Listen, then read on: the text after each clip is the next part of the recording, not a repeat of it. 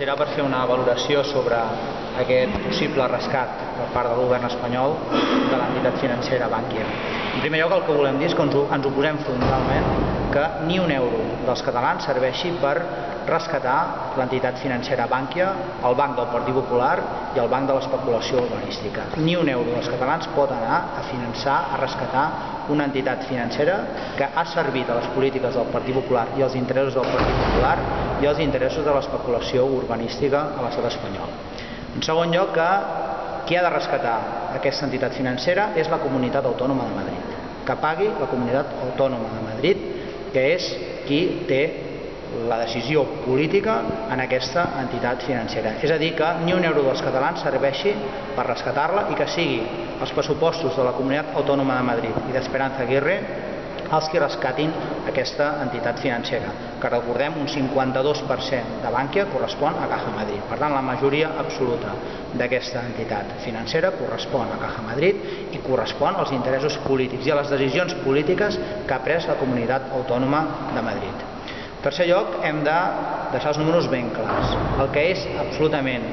impossible de que s'accepti al nostre país és que tots els esforços que s'han fet en retallades en sanitat i en educació, fins a 1.700 milions d'euros, sigui l'equivalent al que volen que paguem els catalans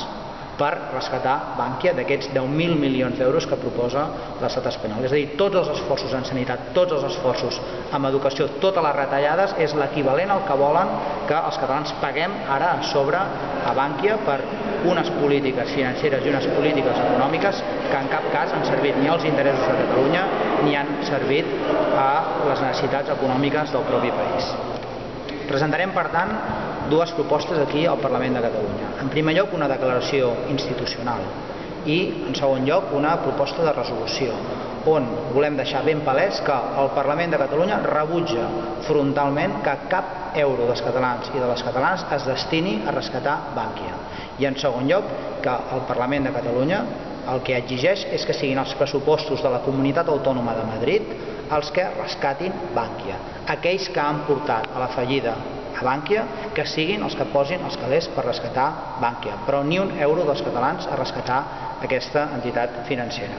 I, per últim, exigim que Rodrigo Rato respongui davant de la justícia espanyola. Que Rodrigo Rato, com han fet els banquers que han gestionat malament, que han fet una gestió nefasta de les entitats financeres a Islàndia, respongui davant de la justícia. Això ha de marxar amb la cua entre les cames, deixant un forat de, en principi, 10.000 milions d'euros, es parla que pot arribar fins a 50.000 milions d'euros,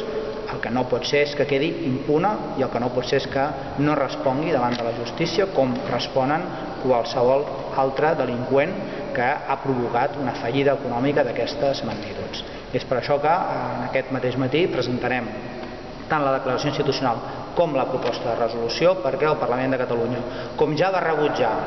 que s'allarguessin les concessions dels peatges catalans per rescatar els peatges de Madrid, també rebutgi que ni un euro dels catalans serveixi per rescatar la fallida econòmica del Banc del PP, del Banc de, de la Comunitat Autònoma de Madrid, que s'ho paguin amb els seus diners, que si alguna cosa ha servit aquesta entitat financera és els interessos d'aquest territori i de la Comunitat Autònoma de Madrid.